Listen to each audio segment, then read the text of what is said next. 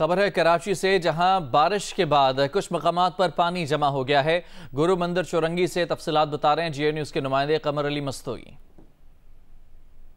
بارش کا سلسلہ رک چکا ہے، لیکن شہر میں کچھ مقامات پر جو ہے وہ بارش کا پانی کھڑا ہو گیا ہے۔ نکاسی آب کا کام جو ہے وہ کیا گیا۔ ہے اس طرح گرو مندر چورنگی پر موجود ہے گرو مندر چورنگی پر بارش کے بعد جو ہے وہ پانی جمع ہو گیا ہے۔ ٹرکوں کی روانی جو ہے متاثر ہو رہی ہے، لیکن یہاں پر ابھی تک جو ہے وہ پانی کی نکاسی کا کام نہیں کیا گیا۔